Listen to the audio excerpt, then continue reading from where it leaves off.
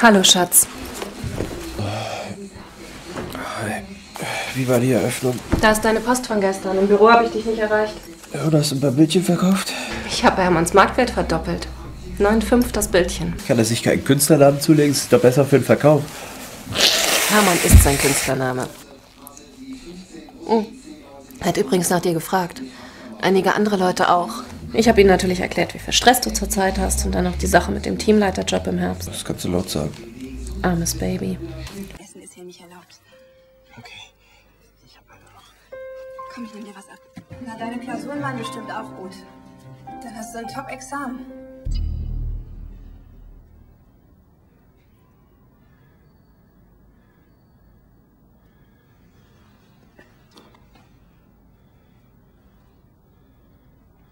Professor Eckfurt. Das wollte ich Ihnen nicht vorenthalten. Oh. Schön, dass Sie noch dran gedacht haben. So einen Handel kannst du noch nicht spurlos abwickeln. Wir brauchen Beweise. Wo sollen wir die finden? In Heckfords Büro natürlich.